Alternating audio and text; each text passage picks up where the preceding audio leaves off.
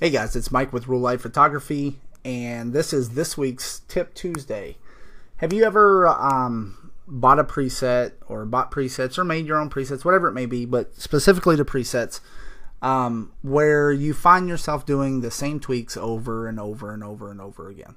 So in this case, a bunch of presets that I that I like, and specifically some of my own presets, uh, I add grain within Lightroom and for whatever reason, sometimes I don't want grain, or I I just want to remove grain, or it doesn't have to be just grain. Maybe you adjust the contrast, maybe you adjust the shadows and the highlights, whatever it may be.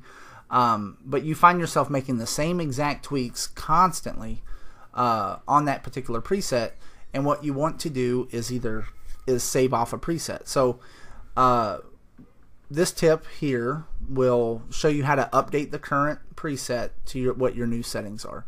So for this particular photo, I think I'll use, I'll just click on RLP, we'll do O2, right?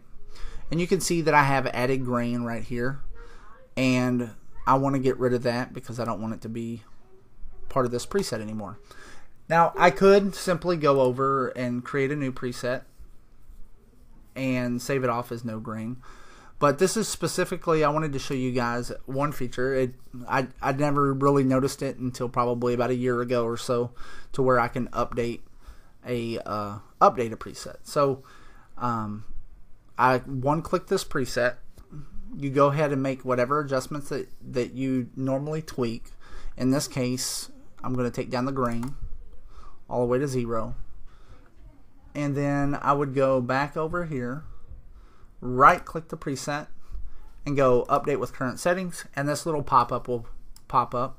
And now you just select everything that you changed. So in this case, I would go ahead and check none. And then now I would go down here to effects and check grain and then update. So I'm to reset that now.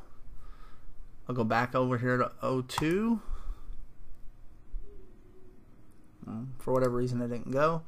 Go to O2 here. And now you can see that the grain is at zero and that's saved off now.